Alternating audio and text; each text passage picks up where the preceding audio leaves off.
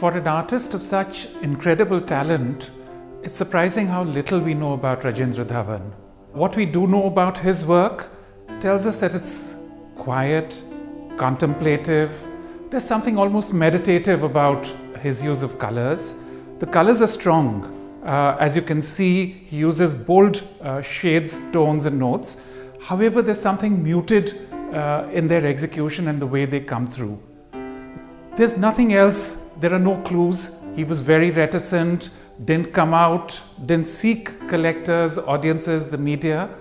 So, what he was thinking of when he was painting is something that remains uh, a mystery to us. When I look at the work here, what comes to my mind is haikus, uh, lyricism, poetry, music, sounds, melody.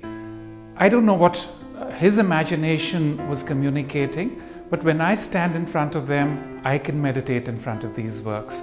There's something extremely beautifully contemplative about them. Uh, these are timeless works. They, they will survive long uh, beyond the artist's life. The artist passed away in 2012, almost uncelebrated in his lifetime.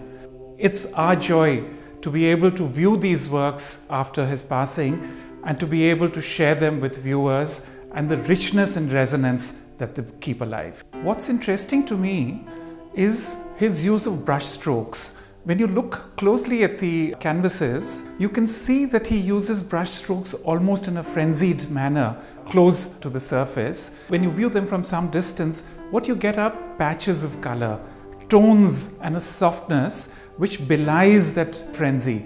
Eventually, I think he's attempting to show that underneath calm, underneath a surface somewhere, there is a lot that is happening. And I think somewhere that is almost akin to the human situation where our thoughts, our imaginations are always alive, but our veneer is one that may be very different.